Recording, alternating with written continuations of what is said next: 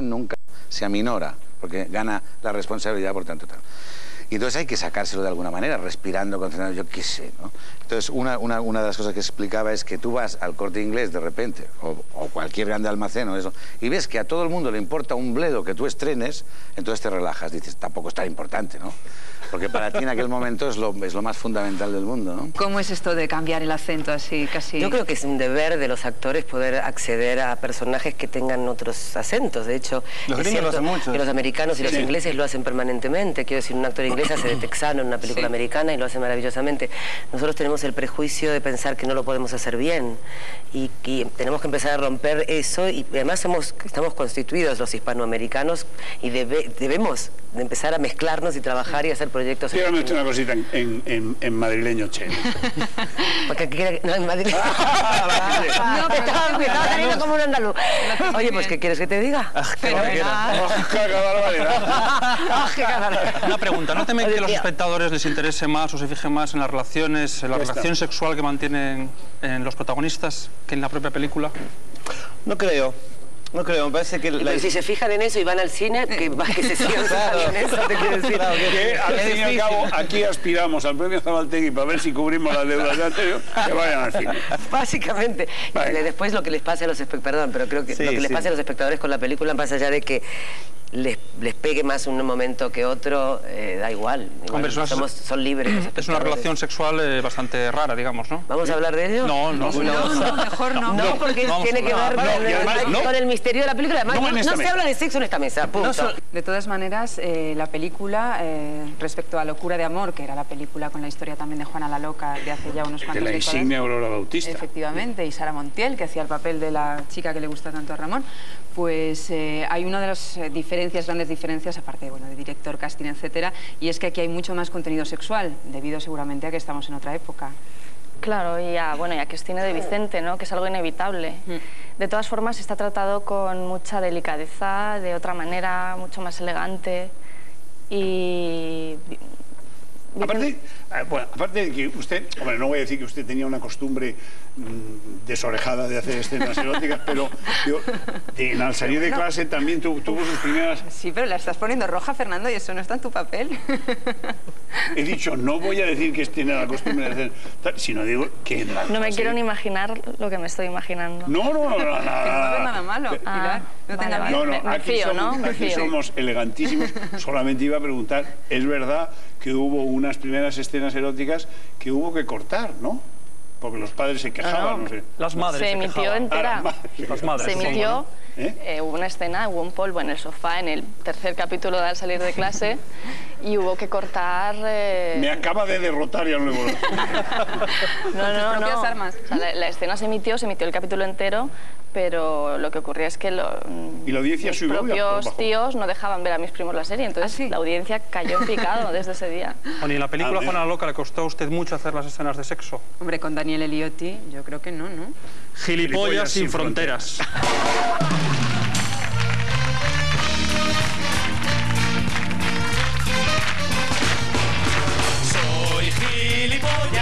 lo soy donde quiera que voy.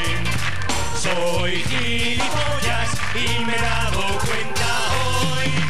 Gilipollas sin fronteras es tu organización. Habría muchos más gilipollas con tu participación. Habría muchos más gilipollas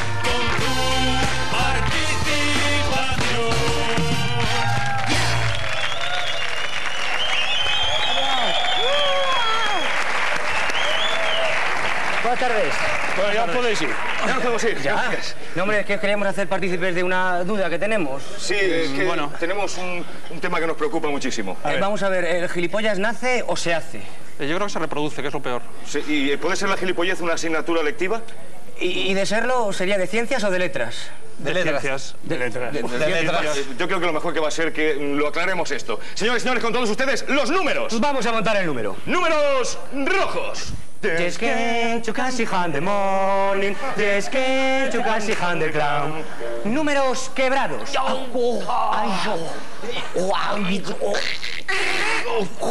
Números primos. Taca, taca, taca, taca, taca, tamo. Taca, taca, taca, taca, taca, ¡Tamo tamo. primo! Taca, taca, taca, taca, taca, taca, taca, taca. Números complejos.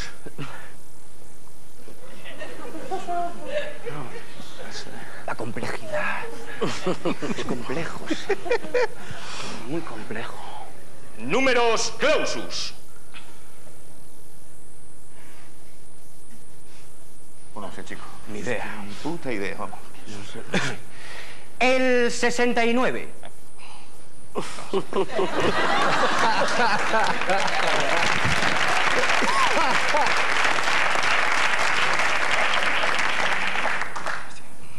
Número de la Guardia Civil. Hostia. Coño. Joder. Me cago en. Numerito. Cariño. Déjame, no sabes respetar mis sentimientos. Aquí delante de todo el mundo. Que se entere todo el mundo que eres un egoísta y un falso, falso, falso, falso. Numerito, qué numerito. Número de magia. ¡Hop! ¡Hop! Número cómico.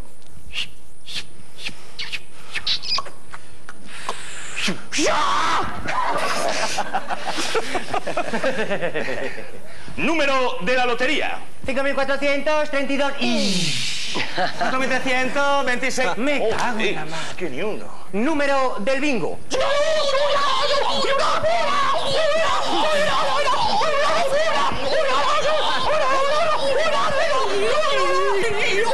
El 7. Gracias, gracias.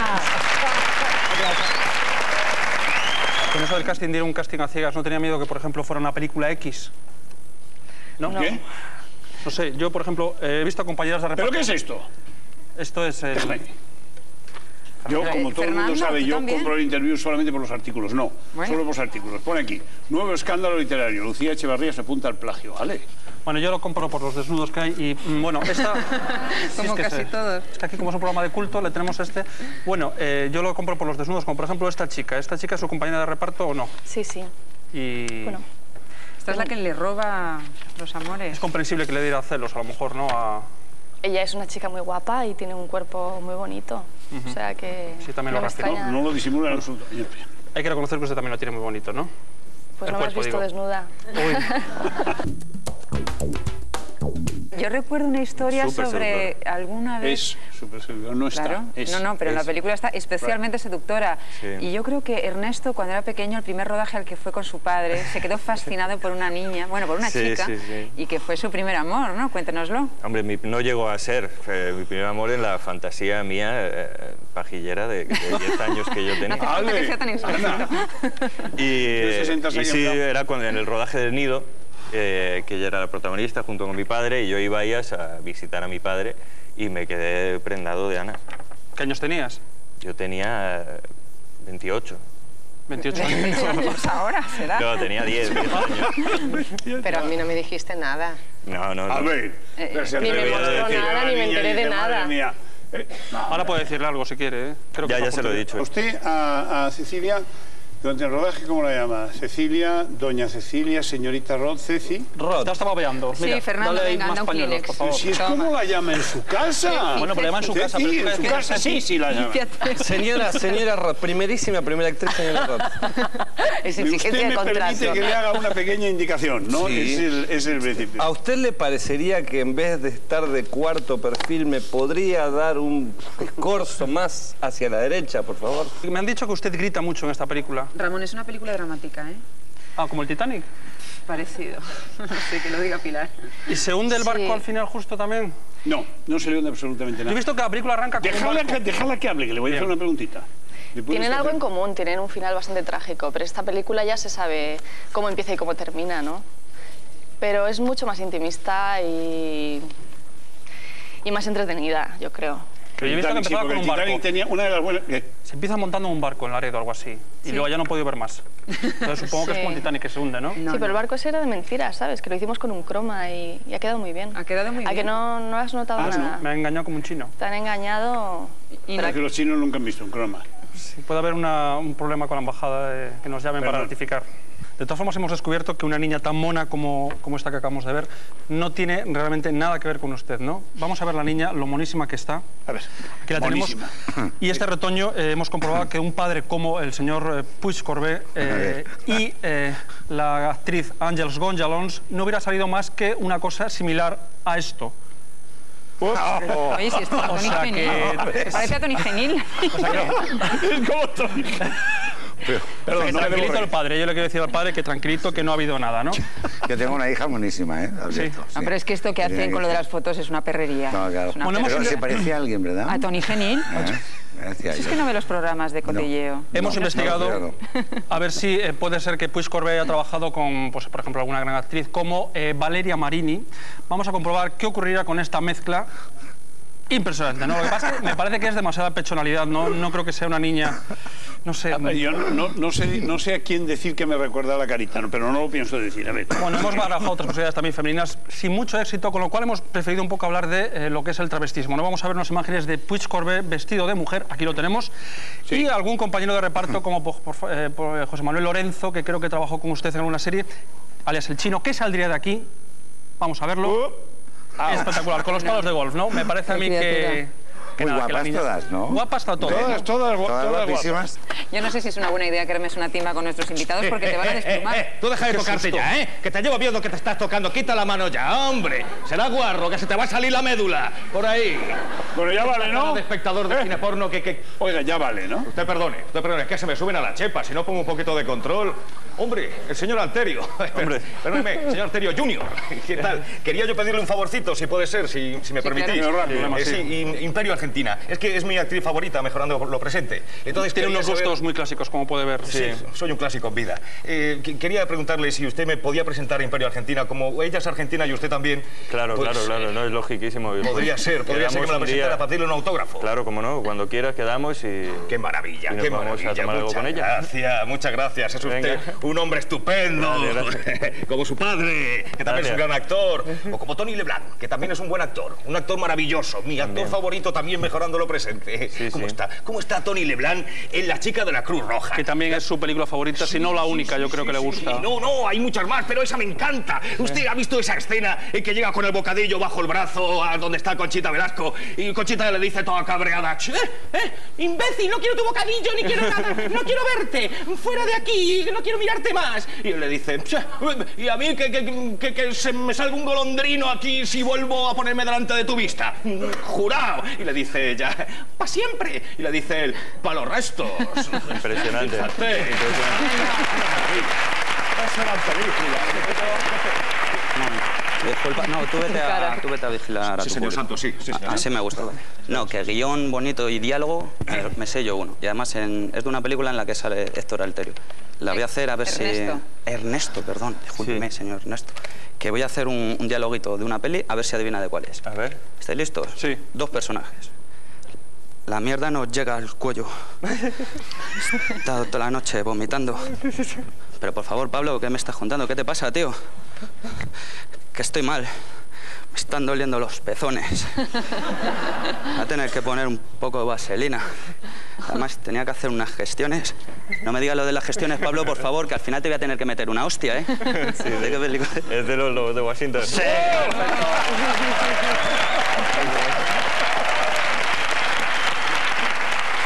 V, V. Tú puedes superar esto, anda. Ah, Will. Hazte la escena esa de Vicky el Vikingo. Es un clásico del cine escandinavo, aunque no se debe- debería decir nabo a estas horas.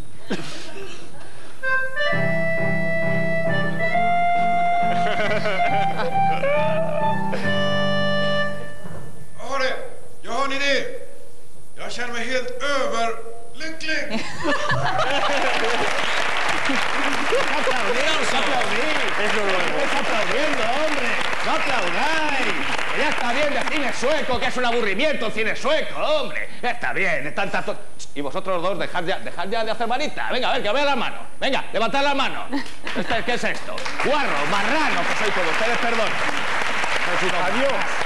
Bueno, en lo más plus tenemos para resolver ese tipo de problemas que son tan complejos de si es tu mujer, si es tal, tenemos un, un experto. es mi mujer, ¿eh? Bien, exacto. No hay- Pero no hay bien, duda sobre Eso para resolver cualquier problema con, con- con tu media naranja tenemos un experto que es eh, compatriota suyo, es el doctor Ernesto Raimondi, Bien. que imaginan cuál puede ser su, es- su especialidad. A ver, iba a decir, a ver, argentino y doctor tiene que ser psicoanalista. Por supuesto. Pues no, es el doctor Ernesto Raimondi, que va a entrar ahora mismo. Aquí lo tenemos. Buenas tardes. Hola. Tanto gusto, buenas tardes. ¿Qué tal? Encantado. Y no, eh, bueno, yo en realidad soy eh, pedicuro en la rama divinatoria. Eh, desgraciadamente el cupo de la Facultad de Psicoanálisis estaba completo. ¿Y cuál es su método de, adivinación, digamos? Sí, eh, se trata de un método revolucionario, totalmente chocante. Se- con un análisis somero del pie, eh, yo puedo saber de qué pie cojea el interesado, el paciente en este caso. Bien. ¿Querés revisar acá? A ver. Sí, sí, me lo permitís. No, no, no, no, no, nos, nos interesa más bien la teórica, Bien, más que en este caso, No, he traído unos croquis acá que cualquiera, cualquiera Bien. sabe. Acá tenemos la primera variable a tomar en consideración, que es la longitud de los dedos. En este caso, vemos que el dedo índice es más largo que los compañeros. Bien, se trata de un caso flagrante de eh, tendencia a salirse de madre. Aclaro. Bien. El pibe o la mina serán infieles inevitablemente. Bien. Tengo que fijarme cómo lo tiene. La segunda variable. Sí. Acá vemos que el dedo meñique eh, se oculta, se, se esconde detrás del, del anular. Bueno, esto es un pelín más complicado. Acá vemos un deseo irrefrenable de tendencia al travestismo. ¿ok? Es mi caso. El siguiente caso... Eso es un guarro. No, este es más común de lo que habitualmente se cree. Vemos que acá en las uñas hay restos negruzcos. Sí, Bien, más eso. que de guarro, esto suele indicar eh, ocultación, eh, deseos irreprimibles de, de- de- de- de Doctor, perversión. eh, Esto ¿podría está causado, obviamente, por un Edipo mal resuelto. Mm, Ah, ¿Me podría analizar mi pie ya que está ahí ya de paso? Bueno, ¿Qué claro, tienes, Ramón? Pero si tienes hasta un agujero. Y la y media el reta ahí, eh, me parece y que. a acá vemos un Juanete, un dedo que arremete contra los otros, lo peor. Lo peor, esto es lo peor. Esto más que un juguete se parece un tumor, ¿eh? Sí, sí. Don Juan, esto. Es que fuiste psicoanalista. Inconscientemente vos tenés una tendencia a eh, la recolecta compulsiva de autógrafo de fontaneros, sí. Al espinetismo también, entiéndase de espinete, y a aprenderse de memoria la guía telefónica completa de la ciudad de Tokio. Consejo, cambia de zapatos. Cambiaré. Y no lo olviden, como ya se dijo en el programa de Ana Rosa Quintana, si sos pati corto, no utilices sandalia, puede producir cistitis. ¿Se arrepiente o le divierte el recuerdo de su paso por la tele? No, como me voy a arrepentir. Para nada, no, no, me divierte y me lo recuerdo con muchísimo cariño. Y yo aprendí y me lo tomaba muy en serio cuando estaba trabajando allí, apren- aprendí muchísimo. Lo que pasa es que a lo mejor te das cuenta más a, a medio plazo, pero, pero se aprende mucho en televisión. ¿Y qué aprendió con ese monstruo, ese auténtico monstruo que es el Fari? Tanto monstruo, bueno, todo el mundo comprende a qué me refiero cuando digo de monstruo. Pues Farid trabajaba muy bien, ¿eh? Eh, la verdad es que Era un buen compañero. era buen, sí, era buen tío y... Es buen tío, además. Sí, hombre. Es mejor actor que cantante si cabe. Yo creo que es buen actor, que, que puede seguir haciendo series No se sin va a meter problema. con él. No, no, yo no, voy a lo vas a conseguir. Yo no tengo nada, es Bueno, como no el se mete con él, vamos a ver el zapping. Vamos a dejarlo de historias. Los panchitos patrocinan el zapping.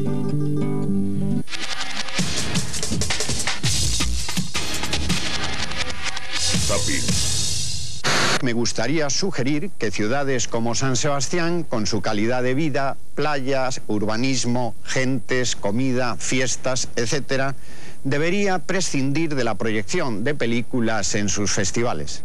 Esto haría que tengamos más tiempo libre para otro tipo de actividades mucho más gratificantes. Con esto creo que se daría un paso adelante en la historia de la humanidad. Hace 16 días que no veíamos cómo los bomberos de Nueva York recuperaban un cadáver entre el amasijo de hierros. Agotada la esperanza, a los familiares solo les queda certificar la muerte de sus seres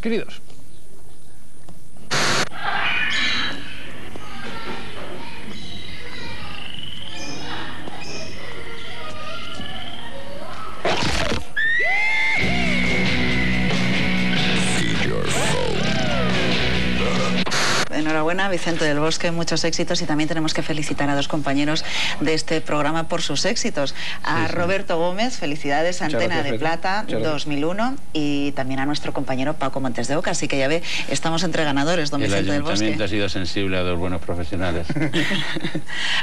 Se ríe mucho, o, bueno, está muy sonriente como siempre, naturalmente el entrenador del Real Madrid, pero que no se ría tanto porque le toca un partido muy importante dentro de nada, que es el eh, Playa Pájara de Real Madrid, que eso va a ser todo un acontecimiento, ¿eh? Bueno. En Chile la televisión busca más espectadores para la información meteorológica y los busca a cualquier precio. El tiempo en ese canal parece un relato de calor sofocante. En Concepción ya está haciendo un poquitito más de calor. Es un striptease entre isobaras que además se realiza en público. El tiempo siempre ha sido un tema de conversación para romper el hielo entre desconocidos. Pero en este caso el pretexto para el diálogo no es el tiempo en sí, sino su materialización a través de un cuerpo femenino. Esta peculiar presentadora desvela su misterio según aumenta la temperatura. Buenas tardes. Buenas tardes. ¿Cómo estás? ¿Qué tal, Jesús? Aquí estamos, hombre. ¿Tú quién eres? Yo soy Nacho. Nacho, como mi hermano te llamas. Cuéntame. Es que os conozco. ¿A mi hermano y a mí? Sí. ¿De qué? De alguna fiestecilla que hemos estado juntos. Bueno, entonces vamos a callarnos. ¡Ah, Golfo!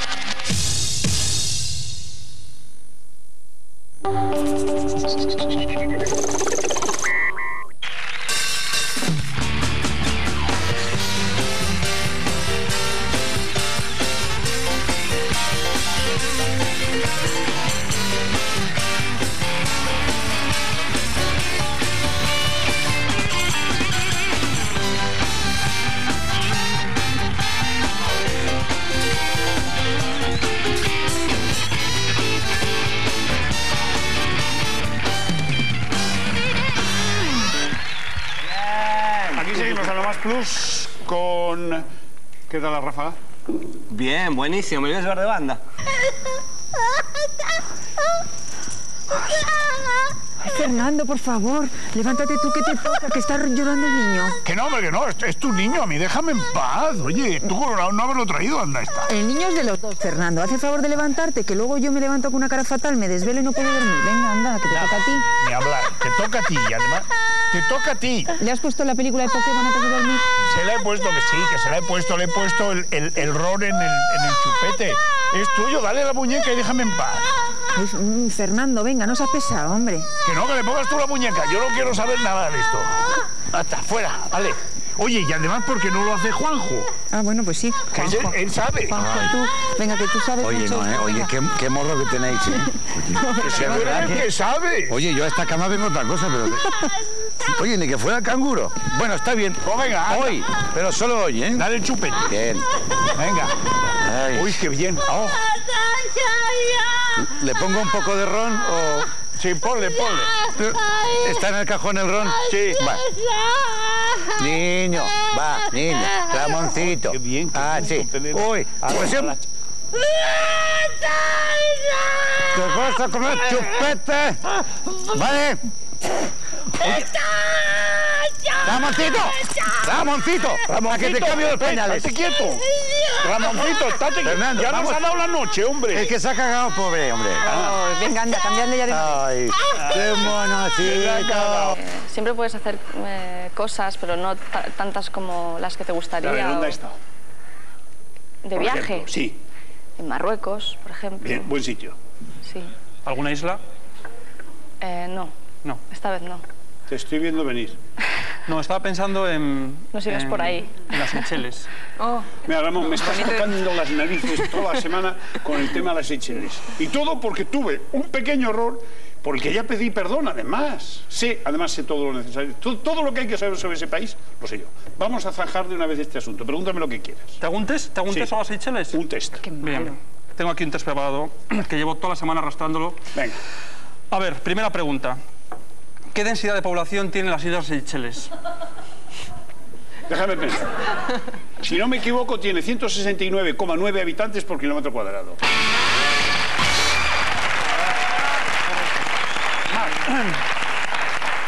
¿Cómo se llama la capital de las Islas Seychelles?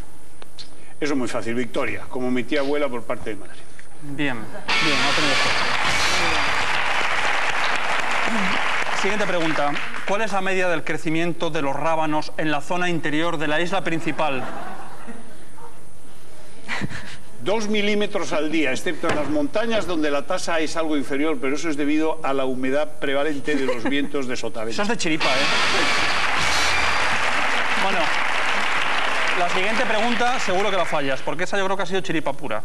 ¿Cómo se dividen los grupos religiosos en las islas? Ya, si crees que me vas a pillar con eso, apunta. Católicos, 88,6%. Anglicanos, 7,7%. Ya, excepto... Excepto Rashid Abdul Mohammed, que, se- que se acaba de convertir al Islam y antes se llamaba Isaías en Gema, ¿vale? Me rindo.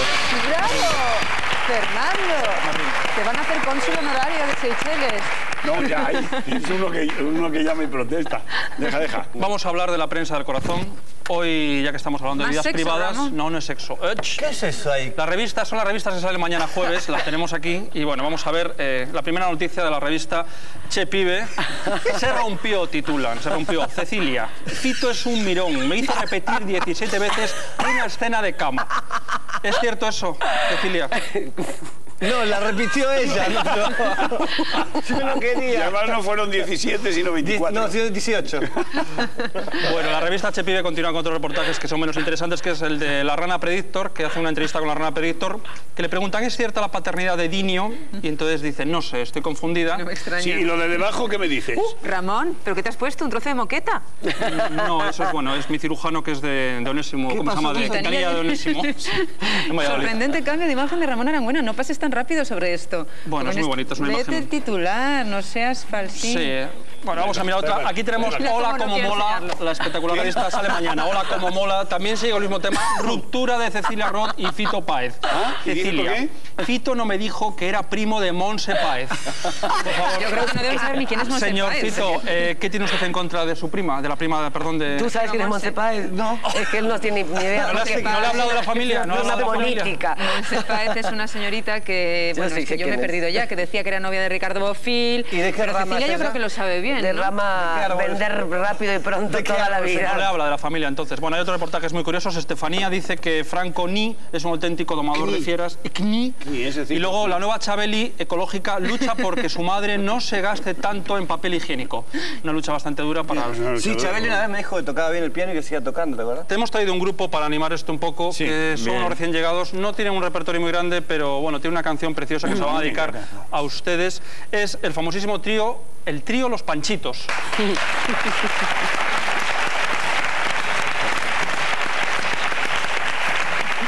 Muchas gracias. Una pregunta, eh, ¿por qué el trío de Los Panchitos son cuatro?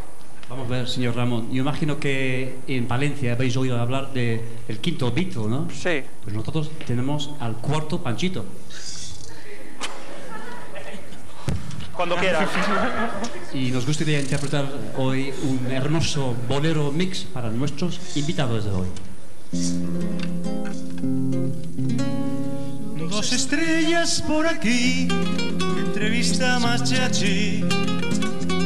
Ernesto, te adoro. Anita, aunque están de promoción, contestan de corazón. Continuo. Y si después de comer, Alterio y Ana Torre se miran por llegar a preguntar algo que hizo mosquear, es que ha sido sin querer.